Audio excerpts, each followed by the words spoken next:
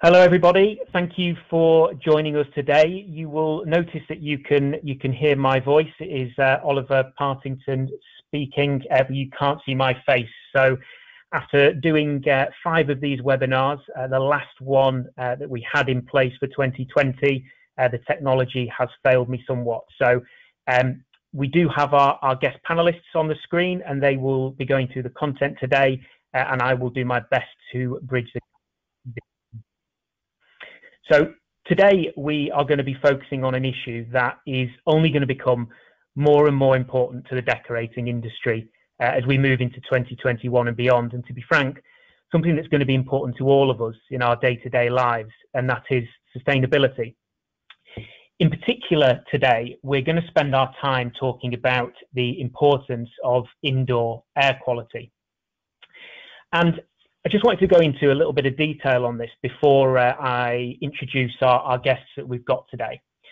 People spend a shocking 90% of their lives indoors, and 60% of that time is at home. Something that through 2020, I'm sure you you will all have experienced um, even higher percentages. And if you're anything like me, it's probably more likely to be over 90% locked in the spare room, um, trying to hide from pets and small children. And with occupants of these buildings spending so much time inside, whether that is in an office building, whether it's in a school, or whether it's in somebody in your own in your own home, the materials that we use during the construction or the refurbishment or even the redecoration of those buildings becomes hugely important.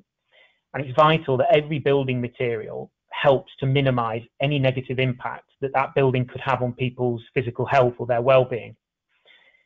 And those buildings as well are responsible for 39% of global carbon emissions. So at the same time, it's really important that the materials both limit any negative impacts on indoor air quality, but they also help us to reduce emissions.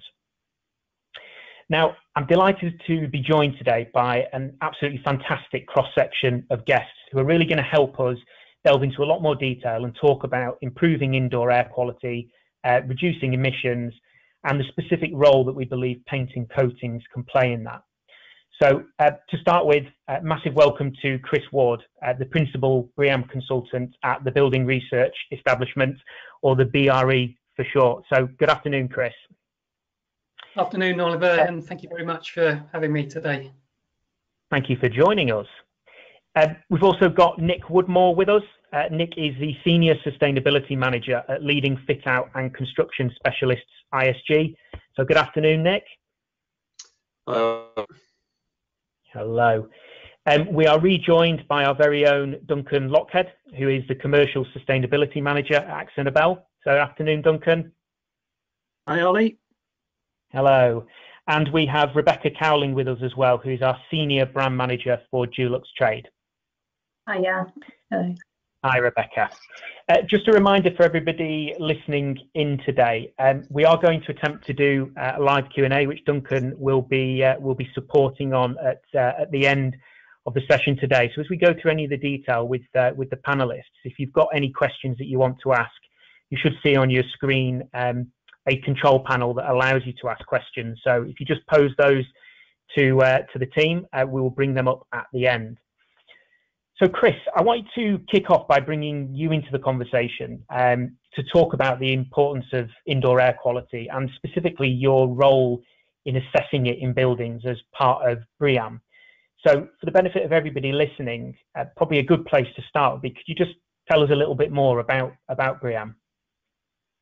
Yeah, no, no problem. Um, yeah, if you could go to the next slide, please. Um, so yeah, just just for everyone out there. Uh, BREEAM is uh, the acronym for the Building Research Establishment Environmental Assessment Method. Um, we're the world's well first and longest established um, sustainability rating um, method for the built environment, uh, focusing on buildings mainly. Um, we're now in our 30th year since we launched in 1990. Um, our overall aim is to drive more sustainable outcomes in the built environment and encourage innovation.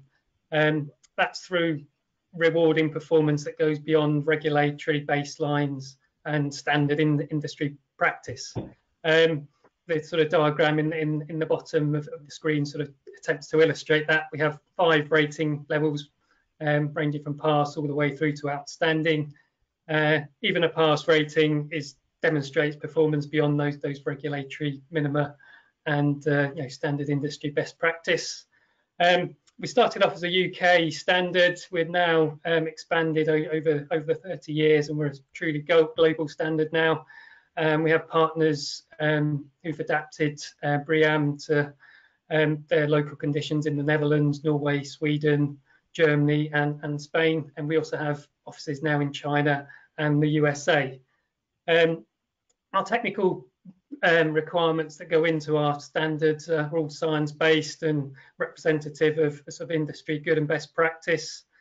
And we operate third-party based certification process uh, that ensures sort of independence and, and credibility. Um, we also adopt a holistic approach to um, to sustain sustainability. So we cover the whole broad range of, of issues as you would expect, from energy and water through to materials and waste, and obviously today's topic, health and well-being. Um, next slide, please. This slide is just to give you a bit of a, a illustration of, of, of, the sort of diversity of, of um, life cycle stages and, and sectors that, that, that, we cover through our standards. Um, yeah, we also operate um, the CEEQUAL branded scheme for infrastructure projects and um, the Home Quality Mark scheme, which looks at new build homes in, in, in the UK. Um, but as I say, all, all of our uh, schemes are, have both UK and international versions, and they cover the whole life cycle stage of a building from new construction through to in use through to re refurbishment. Uh, next slide, please. Uh, this slide just to give you a bit of an illustration of the reach and, and impact BREEAM has had uh, over the last 30 years. We're pushing 600,000 buildings certified. Uh, we're over 2 million projects registered now. And I think we're operating in, in 89 countries. Well, we, have certified projects, I should say, in um, 89 countries now. Um, so yeah, it's it's a, it's been a growing business over the over those 30 years, and it and it continues to grow to this day. Uh, next slide, please. So what um, do our users sort of get? Yeah, what are the benefits that they gain from from the from the BREEAM process? Um, as I mentioned earlier, one of the key benefits is that independent assessment of, of a project's performance. Um, there's also a growing evidence or body of evidence now that um, there is a rental and sales sort of premium on, on green buildings. Um, and yeah, that's can, can be up to, to sort of 30% increase in, in, in, in value. Um, and I think one, one of the criticisms that sort of comes back, well, it costs a lot of money to put sustainability um, features into buildings. Uh, well, that might be the case for if you're targeting those sort of higher ratings like excellent and out, outstanding. It, it, yeah, there, there, will be an increased capital cost probably in those cases. Um, but sort of independent research that we, we, we've undertaken has shown that those additional capital costs are paid back pretty quickly through savings in, in operational costs such as energy and, and water use. Um, the other thing, um, obviously, BREEAM's covered health and wellbeing aspects for, for many years, and again, there's a growing body of evidence out there of the sort of links between things like thermal comfort, indoor air quality, visual comfort, and workplace productivity. So a green building also equals a, a healthier building. And um, that's probably enough uh, on, on, the sort of background to, to, to BREEAM, and I'm conscious we've, we've got a lot, lot to talk about. So, Chris, um, BREEAM changed fairly significantly uh, two years ago, so in 2018, specifically the the indoor air quality portion of uh, health and the health and well-being section. So it's probably just worth um, explaining, I guess, a little bit about how and, and why that happened. Yeah, yeah, of course. Um, yeah, just as, as I say, we, we we try to keep up with regulatory changes and industry best practice. So we're we're on a cycle of probably four, four to five year cycle of, of, updating our standards to ensure they know, maintain their relevance and, and, they do reflect sort of current best, best practice. Um, as you say, our, our, new construction scheme in the UK was was updated back in 2018, and yeah, one one of the key focuses of, of that update was on the indoor air quality um, requirements in, in the health and well-being section. Various reasons for that. There's yeah, it, it's general, air quality in general has been a bit of a hot topic in the last five years. Um, most of that's sort of come on sort of from from, ex, from an external point of view, things like the Volkswagen um, Dieselgate scandal, scandal with NOx emissions from from from vehicles, um, and obviously it's it's highly relevant now in in, in terms of um, COVID uh, and you know the, the need for yeah. um, good ventilation, effective ventilation in in, in buildings. So it's yeah it's an area we, we've always sort of covered, but it seems seems to be in, increasing in importance over the last few years.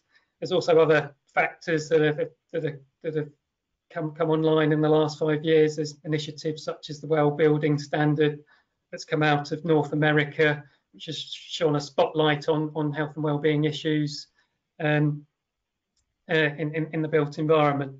Um, but yeah, go, going back to to the, the, the specifics of, of, of, the BREEAM uh, indoor air quality issue, um, it was probably back in 2015. Now we were approached by a number of sort of stakeholders to say that our current VOC emission related criteria for construction products, including paints and coatings, probably weren't representative of European best practice. Um, so yeah, I think we, we, we sort of took that feedback on, on board and performed uh, a review of um, um, sort of international standards, third-party labels in terms of VOC emissions.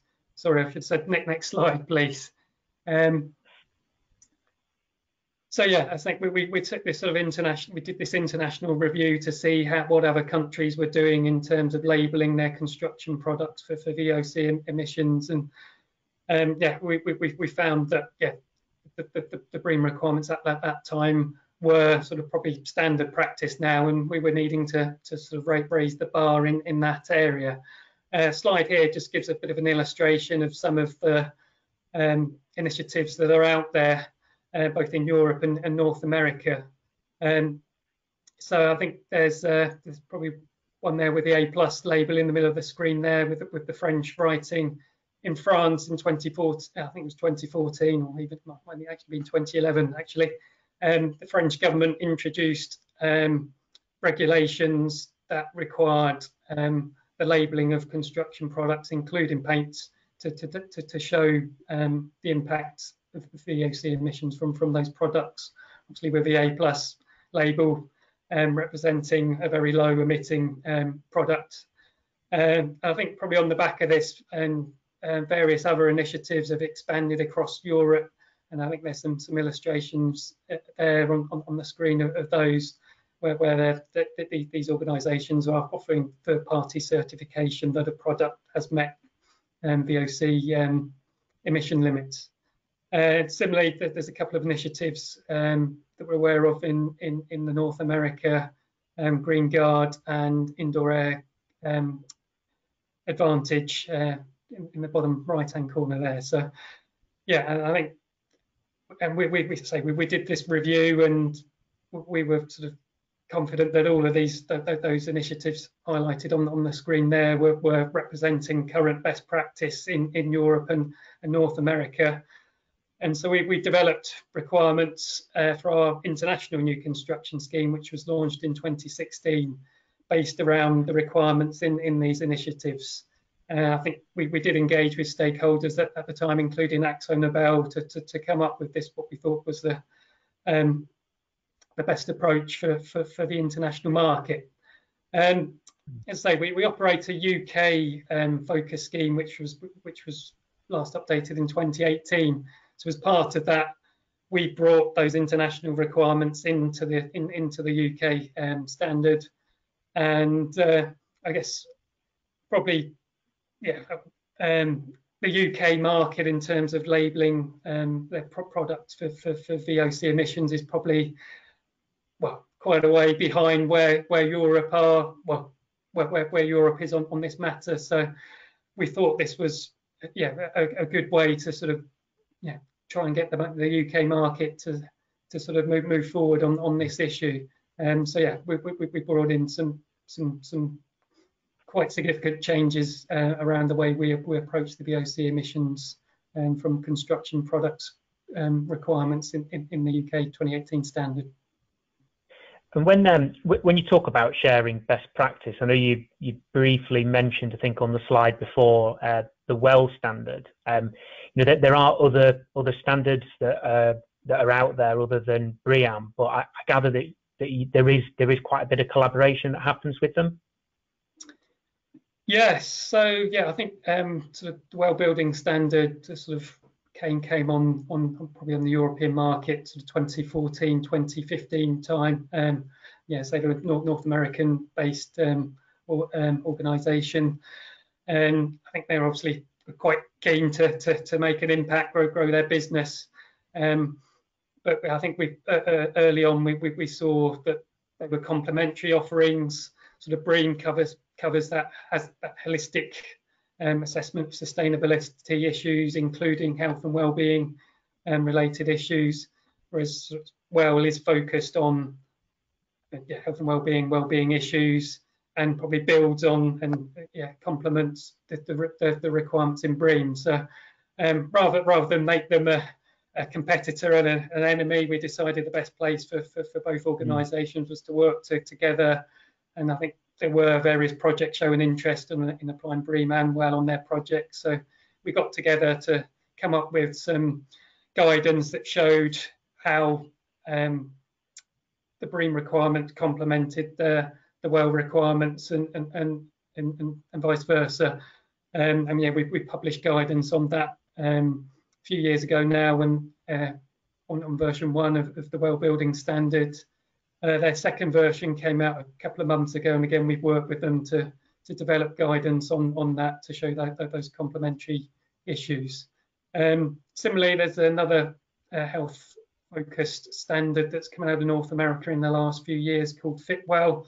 It's probably less um, um, yeah, probably less, prescriptive in, in terms of the requirements compared to WELL, probably WELL light for for want of a better phrase. And again, we, have we've, we've teamed up um, with um, the Centre for Active Design, who run the Fitwel standard to produce similar guidance to, to that we produce with, with, with WELL to show the complementary complement, complementarity between Fitwel and, and, and the BREEAM requirements. Great. Well, thanks, thanks, Chris, for going through that. I think it's a really, a really useful overview. I mean, a couple of bits for me, I guess it, it really feels like there's a there's a global effort here. Um, it's not just about the UK, and I suppose from a from a personal point of view, I suppose I hadn't really um, gathered that that we were lagging lagging behind. So it's it's sort of great to see global best practice and standards being used um, across the globe and, and us benefiting from it in in the UK as well. I think just a, another point that um, that came through loud and clear for me when you're talking about the the value of of BREEAM and using it as a as an independent um, environmental assessment method. Um, it goes back to the, the payback as well. You know, I think um, a lot of the time with sustainability, you talk about the, the triple bottom line and, and how important um, making money is still uh, in delivering sustainability. So it's great to link the two actually. That that pay that payback of the initial capital outlay does come through uh, in um, operational costs in the future. Um, right. So We've heard about the, the assessment methods that uh, that we need to follow and the improvements that are coming through with uh, with BREEAM or have already come through with BREEAM. But it's probably useful now to turn our attention to what does this mean for our customers and uh, the clients of our customers as well. So on that note, Nick, it's probably a good time to bring um, bring you into the conversation if that's okay. Yep.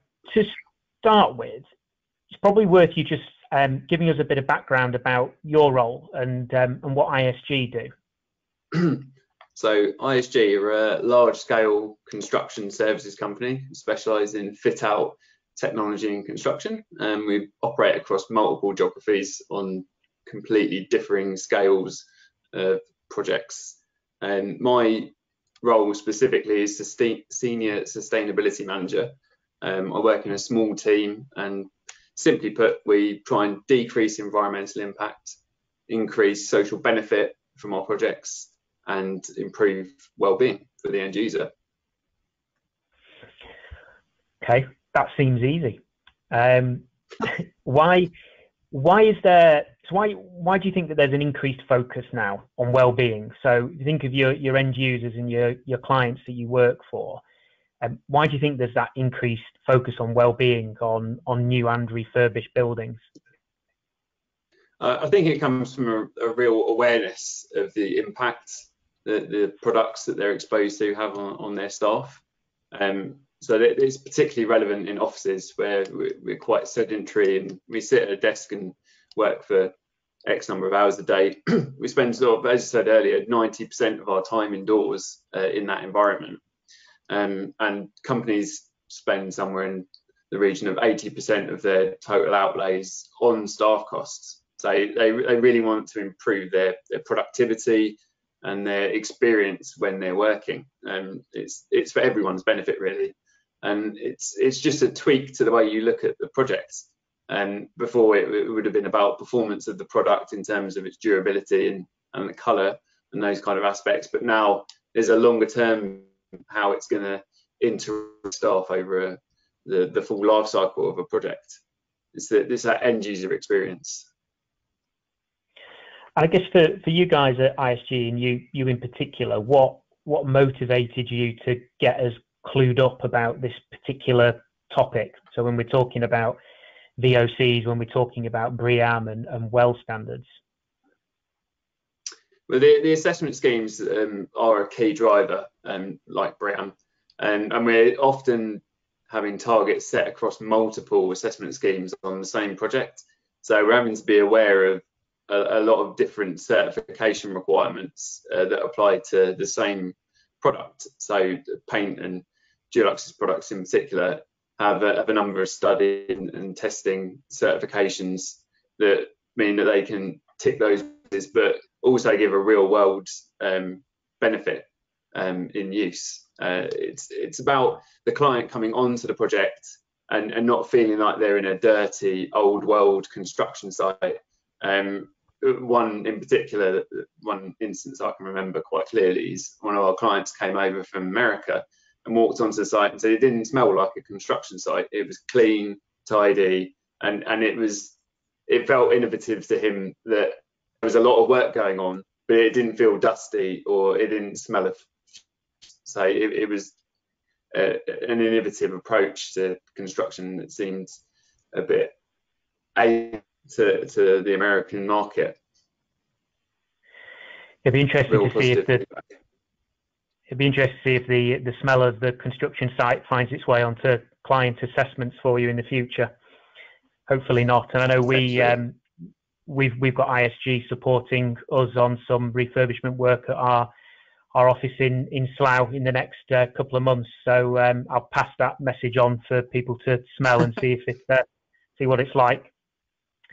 And I guess turning our attention to to paint specifically, why why do you think that paint's why do you why do you see paint as particularly important in this conversation? Well, we, we take a, a sort of risk-based view of everything, and the largest surface areas uh, are the ones you have to be most concerned with when it comes to indoor quality. Um, so the majority of painted and some ceilings and, and even some floor finishes are painted. So they're, they're the surfaces that the uh, the end user again is going to come into contact with and, and they have the largest surface area to off gas into the internal environment. So if, if you control the largest surface areas on the project, you're going to decrease your negative impact. And uh, if you go for really low emission products, you're going to have a cleaner space come the end of the project. It, it's, it's about what's the biggest bang for the buck and make make sure that you take on the the largest chunks of the project first and make sure they're right, and then work on the smaller returns. Yeah, I remember a project manager once saying to me when I was walking round a round a site and we were talking about paint, and he was saying that paint is um, like 0.2 percent of the spend on that project, but it, it accounts for 80 percent of what you see in the building. So mm-hmm. I, I, guess it's a, it's a lower cost value, but um, in terms of the physical space, and particularly when you talk about off gassing, it, it does play a more critical role. Um. The last question that I've I've got for you, Nick. How how are building materials developed to to meet the needs of the industry, to meet the growing needs of your clients, and the assessment uh, criteria that are being put in place when it comes to healthier products? Uh, well, I think it's it's taken manufacturers uh, thinking more long term about what the direction of travel is and, and trying to meet those requirements now. Um, it, there's a plethora of um, assessment methods like the Well Building Standard and BREEAM and LEED, and, and they all focus on indoor air quality, and but also the um, embodied carbon now is, is a key aspect. So companies need to be forecasting uh, what the requirements are and try and build their products for that more stringent set of requirements that are coming, which I, I think Dulux are on that that road. Um, so we, we, need our we're, we're nothing as a principal contractor without our supply chain. Uh, we, we just manage the project as a whole. So we need our subcontractors and their suppliers to come with us on that journey. So it's it's that we um, interact with our supply chain as much as possible and sort of spread to make sure that everyone's improved uh, and trying to head towards the, what the future targets are going to be and not just standing still and meeting the needs that are there today. I think that's, that's actually a really important point to end on. I think um, you know when you talk about sustainability and, and trying to meet those future goals, I think it does require a lot of collaboration. That's certainly something that we've learned. Um, you know, it's great that we have um, really solid assessment criteria in in BREEAM, but we should be working working collaboratively to to move things one stage further and stay ahead of the curve. So I think that that point around direction of travel is is really important, and um, I think it's really useful as well. Just just listening to what what you've said that the the demand from clients is actually coming from a positive place. You know, it's not just about hitting hitting certain targets, about doing what's what's right for, for the people, and particularly when you talk about 80% of people's outlay is, is on staff doing the right thing for them um, is really important. So I think um, Nick, thanks thanks for that, and Chris, thank you for, for your section as well. I think what's really um, what's really clear is there's um, there's that growing demand in the marketplace. There's that need from clients. There's the right assessment criteria to help us measure indoor air quality um, to a to a much better level than we we could have done maybe two three years ago. Um, I want to now just just bring in uh, Rebecca and and then Duncan into the conversation. So, uh, Rebecca, now we've heard, I guess, from from Chris and Nick about that growing focus on indoor air quality and the changing demands of of our clients. What what happens next? What happens next from a from a product point of view, from a from a paint perspective?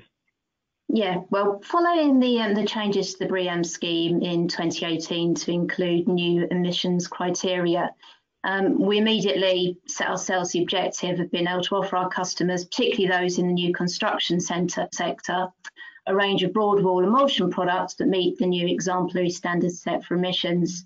And we really we wanted that range to include the most commonly used emulsion products. So that would be a contract mat, a standard mat, and a durable mat product. So we, we started a project and we briefed our R&D teams to start looking at the knowledge and research we already have within this area and the different technologies and formulations that we have across the business, and particularly in, in Europe with our paint business there. And, and how we could achieve this objective whilst most importantly maintaining product performance and the attributes that our customers look for in this type of product. Um, and here we are in, in 2020, after months of work and testing and overcoming various different hurdles and challenges, launching our new Airsure product range. Um, initially, the range will include two new products, um, Airsure Vinyl Matt and Airsure Diamond Matt, But then we'll be adding to these in 2021 with a new improved formulation upgrade for our Super Matte product. And then in the future, we hope to add more products to this range and aim to bring the technologies used within these formulations into our core formulations. When we look at, uh, what, what is the, the Dulux Trade Airsure range, well, products in the Dulux Trade Airsure range not only offer professional quality and the performance you'd expect from a Dulux trade product, but they're also 99.9% VOC free to minimise the impact on indoor air quality, have low emissions, and have an equal or lower carbon footprint compared to the standard formulation. They also, they're also compliant with the indoor air quality requirements set out in BREEAM 2018 to the new exemplary level, LEED version 4.1 and WELL version 2.0 to enable our specified customers to achieve maximum credits for their paint specifications and help them meet their sustainability objectives.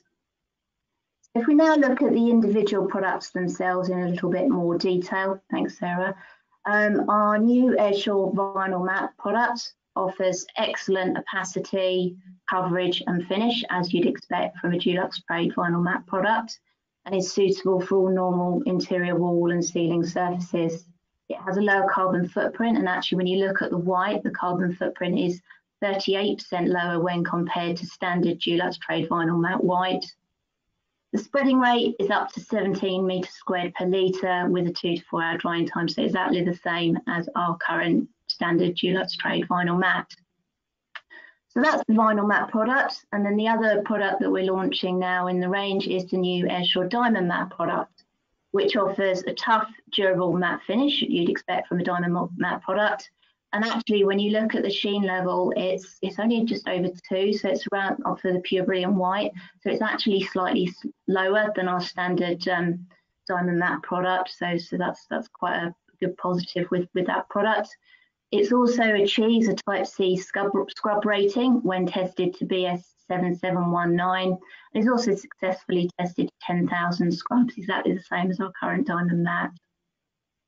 It offers stain repellent technology and scuff resistance, same as you'd find in our current diamond matte, and it is available in the full Dulux Trade tinted colour range. Although I do have to add, it is tinted in our depots, not in store, so it does need to be ordered into your Dulux to, to the DDC that you're purchasing the product from. Um, it's also suitable for normal interior wall surfaces. Um, and again, same as current diamond matte, has a spreading rate of up to 16 metres squared per litre and a four to six hour drying time.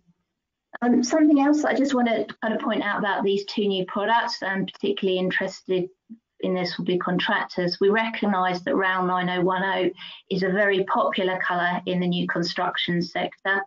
So it will be available in a ready mix colour in both of these two products, that's Airsure Vinyl and Airsure Diamond Matt, in addition to the standard white or PBW you offer. So I've spoken a little bit about these two products, um, and I'm sure one of the questions you're wondering is, is why are we launching additional SKUs and not just reducing the emissions in the standard variants that we have? Um, and, and, really the answer is it's not as easy as you might think to reduce the VOC emissions, whilst most importantly maintaining the desired application and performance attributes that customers look for in these types of products and or keeping costs the same. But in the future, this is definitely something that we are we are aiming towards. So then the final element that I just wanted to cover was the product testing, just to give you the confidence in these new products and that they're going to perform. So, so prior to launching these, as we would do with any new product we bring to market, we've put them through rigorous in testing to ensure that they meet our high standards, application, performance, and of course the emissions testing. So for applications, the products were, were first evaluated by our in-house team of application specialists to ensure that they were happy with the products. Then following that, we went on to, to carry out market trials in our Dulux Academy. This is where we invite decorators and contractors in to come and try the products to, so that we can get an opinion, so we can get their opinion on what they think of the products. And then finally, we progressed to, to market trials where decorators and contractors can use the product in, in real market environments. And then providing that everybody's happy with the product against all, all phases of that testing, that's when we're then happy that we know that the customers will like the application properties of the products and we're happy to progress. We then had testing from a performance perspective. And, and you know, as with any new product launch, we have we have a whole host of, of general tests that we carry out, which include things like looking at the finish to make sure that, that the product delivers a really good finish, the gloss level, the opacity and coverage, the drying times, the, the scrub ratings, stain and scuff resistance, and of course whiteness and colour, just to make sure that the product is colour accurate. And then finally, um, one of the key points of today is the emissions testing. Now we actually used um, an independent test house called called Eurofins, who are an accredited laboratory, and we follow their indoor indoor air comfort gold testing scheme, which is based on ISO 16000 and EN 16402. Um, and as you can see from the graphs on the screen, the uh, the green line along the bottom is the emissions rate for the Airsure products um, over 28 days or at three days and then 28 days. And the top line is the, the standard product.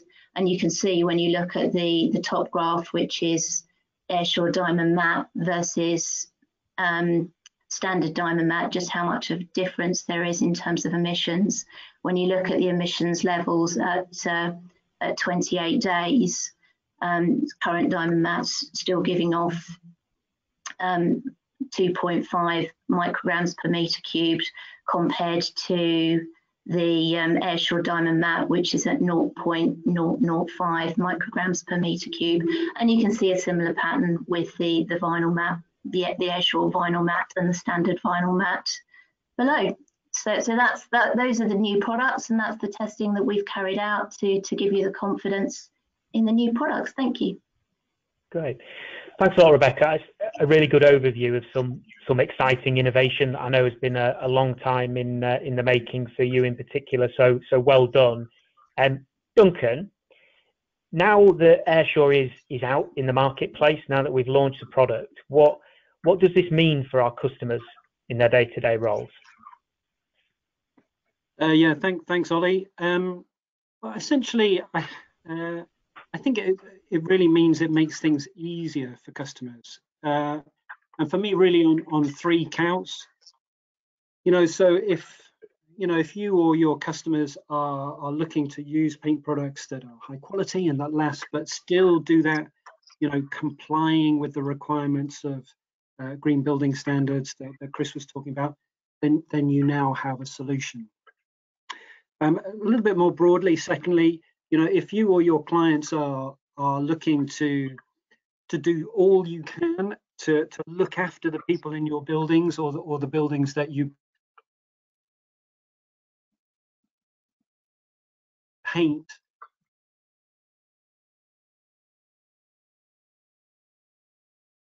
Then you have a solution a well-being solution. Intuitively well thanks for making me big uh, sarah. Um, intuitively uh, I'd also just say that um, that indoor air quality uh, element feels particularly uh, particularly important for, for buildings like well well um, uh, Nick mentioned offices absolutely. Uh, but I'd also just flag things like care homes uh, and hospitals schools where our kids learn. Um, but actually you can see it being applicable across across lots of different sectors. And actually I'd just also say for painting contractors listening that you know, if you're responsible for the well-being of uh, the painters you employ, uh, actually uh, now you have another low VOC solution for your teams. You know, who are the ones who are uh, potentially most frequently exposed to the VOCs. Um, and then thirdly, I think slightly differently, if you or your your clients are on a, a net zero journey, uh, or as Nick was talking about, you're just looking to lower uh, overall carbon emissions generally, uh, then you now have a, a, lower carbon paint solution.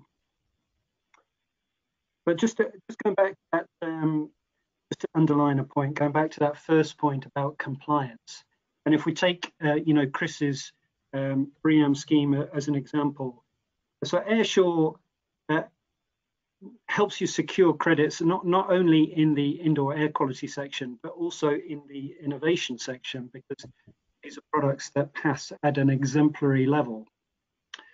Um, so and of course just also to flag that um, another making things easy bit uh, you, you, can now you know dip in and grab the uh, the certification to prove that uh, you know at the click of a button they're up and running already online on the Dulux Trade website. So no more having to chase the manufacturer and saying, "Where's my proof? The BREEAM assessor is giving me JIP," you know that type of thing. Um. So yeah. So and and just also just um, underlining something that Rebecca said. You know, Airsure Diamond Matt is is the kind of uh, shining star here. Um, not only because it's kind of step change in, um, you know, in formulation, but we're also kind of hitting three three sustainability ambitions. Here. You know, we're hitting we're hitting lower emissions, great for, for well-being. We're hitting lower carbon, uh, good for the planet. But you know, we're doing those things whilst at the same time being able to do durability, and that's that is really technically quite hard. And if we if we're doing that durability bit, you know, we're helping uh, keep buildings looking better for for longer and helping to extend maintenance cycles, which of course is great uh, from a resource uh, a resource efficiency perspective. So uh, so I know um, I know this sounds a little bit uh, grandiose, but you know by by launching Airsure, we are uh, we are looking to transform the industry um, you know, our our company has a, an ambition for a solvent-free future, uh, and we do kind of take that seriously. Um, so as Rebecca was said, you know, uh, was saying we've we've we've kind of done um, raised the bar with Airsure. We will look to uh, continue in that direction, uh, and we will look to introduce that ultra low VOC tech into, into other products uh, as we progress.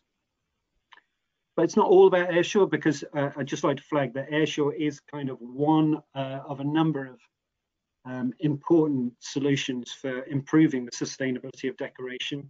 Uh, I just flag that, you know, we also uh, need to remember uh, waterborne paints for trim. So things like quick dry gloss and diamond satinwood um, let's not forget Evolve. Those of you don't know Evolve, Evolve is um, uh, a matte paint made with 35% recycled waste uh, as a raw material.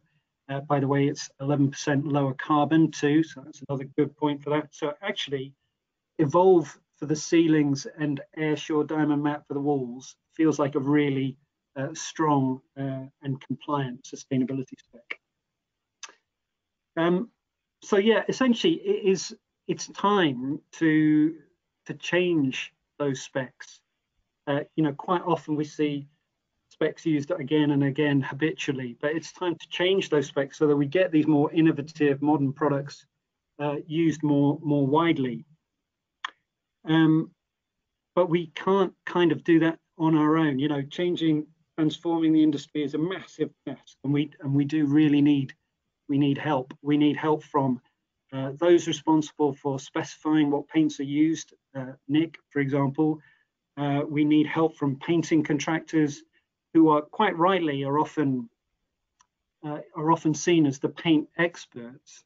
Uh, so we need painting contractors to be bringing these products to, to the attention of clients and recommending recommending their use. and I'd also just for those within our own organization who are in the audience today, you know I keep banging on about this stuff, but actually we do want a more sustainable future for our industry. So, you know, let's shout about it from the rooftops and make sure everybody hears about it. So going back to the to the original point, Ollie, you know, uh, what does it mean? Uh, I guess it it makes it just makes it easier uh, for us all to make a difference and I know Ollie, you you know you are a believer and you want to see the sustainability profile of our industry uh, going in the right direction. Uh, we face challenges, do we not? Uh, we do, and I am a, a believer. Um, you know, I, I make no um, no apology for the fact that the, the, past couple of sessions that we've had have been building a narrative up around around sustainability and around having a positive impact you know, when we were discussing on um, the webinar last month, we we talked about the three waves you know, in terms of challenge that we're facing, the, the immediate wave of um, the pandemic and managing that and hygiene, and the slightly bigger wave after that, which is the economic fallout of COVID-19. But then the biggest wave behind that is the impending environmental impact that um, that we're facing into. And you know, there's there's taglines that come out all the time, but the one that um, sticks the greatest with me is the fact that we're we're the first generation that's that's realised what we're what we're doing to the planet and the impact that we're having, and we're the only generation that can do something do something about it proactively. And I think that's that's relevant for all of us. It's why um, you know it's why everybody is is on this call today, and why we've got you guys as as guest panelists because there is that genuine feeling of responsibility that, that I share along with um, with you guys. I know to to help lead the industry forwards. I guess the final point that I'd, I'd just make, Duncan, is um, is reiterating a point that, that Nick said around predicting direction for travel and around collaborating and working with within your supply chain, because um, we have to come together, collaborate, and innovate to, to help us face into some of those environmental challenges. And, and hopefully, for everybody listening today, you can just you can see how Airsure forms forms part of us us trying to do that. And I would just encourage everybody to to to work with us to continue that innovation journey as we take the next the next stages forwards.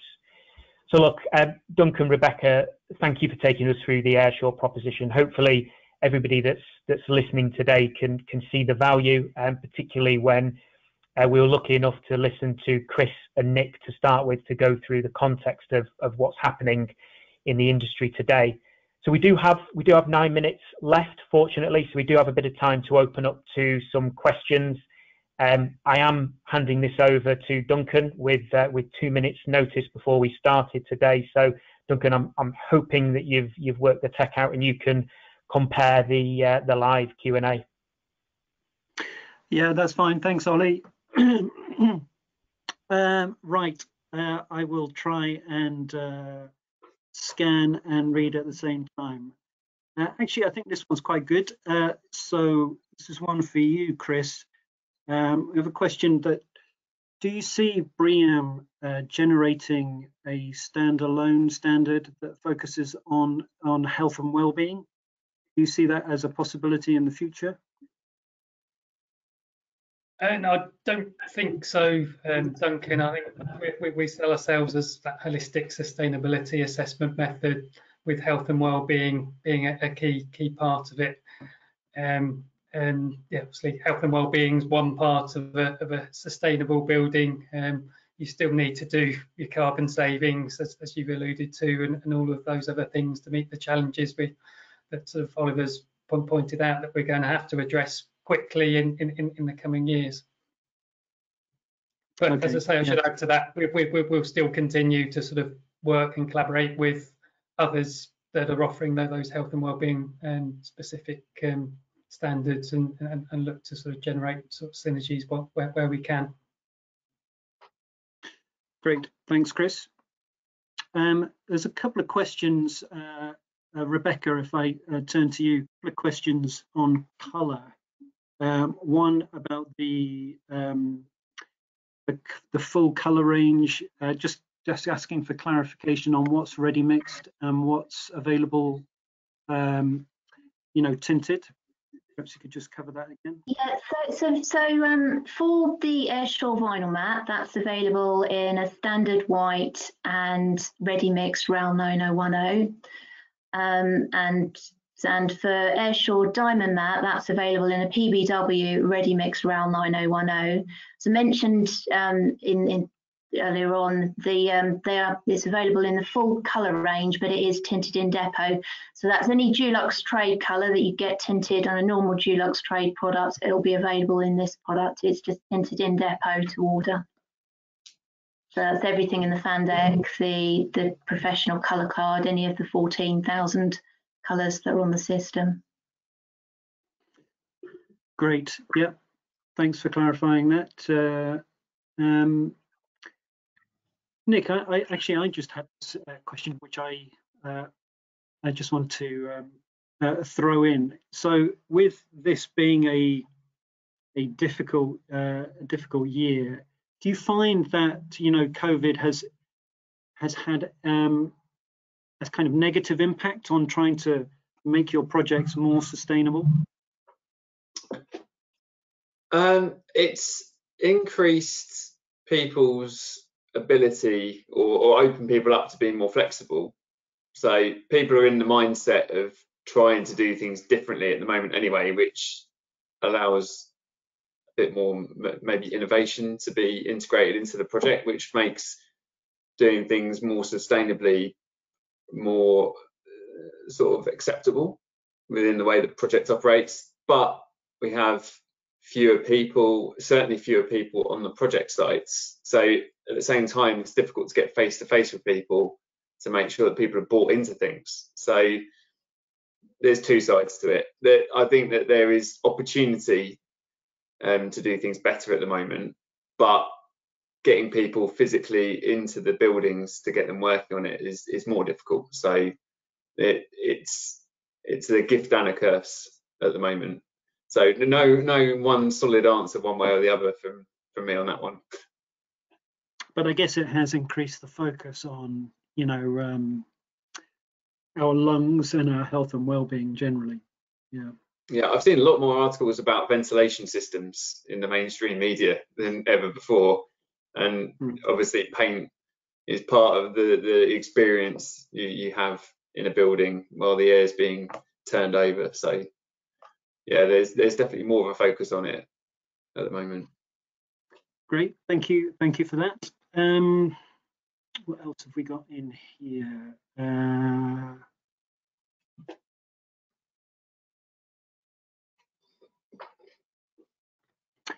so this is um,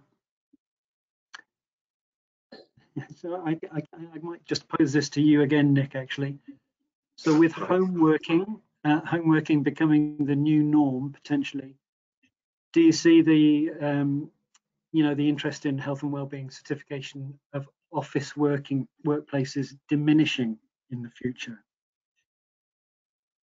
Uh, well, I personally see it increasing because people need to prove that, the, that it's a healthy, inviting environment they're providing to their staff to draw them into the office. So I don't know what everyone else has found, but I, I find it more difficult to collaborate with people virtually.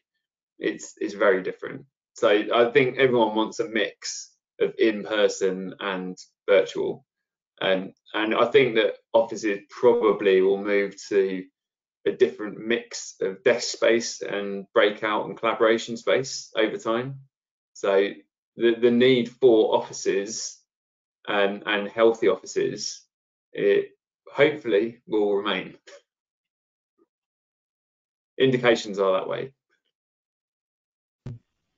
Can I jump in on, on follow up on, on that point, Duncan, if that's okay? Um, I guess the, the other thing um, that, that's happened in the last few years, there's been an explosion of consumer devices that sort of claim to measure indoor air quality. There's things like Foobots that you can have in have in your uh, home that sort of um, measure all, all, sorts of indoor air quality parameters. And I'm, mm. I'm, I'm, assuming that yeah, people will, will be having things on their watches and, and, and all sorts of things in, in, in the future.